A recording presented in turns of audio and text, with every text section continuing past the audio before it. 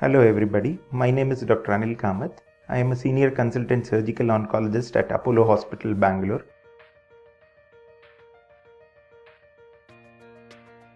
There are different types of thyroid cancers.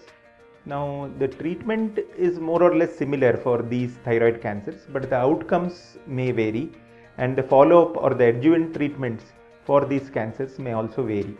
The commonest type we encounter is a, is a type called papillary carcinoma of the thyroid, which forms majority of the thyroid cancers. The other type is called follicular carcinoma of the thyroid. This cancer has more tendency to spread by blood to bones and can produce symptoms because of spread to far off areas.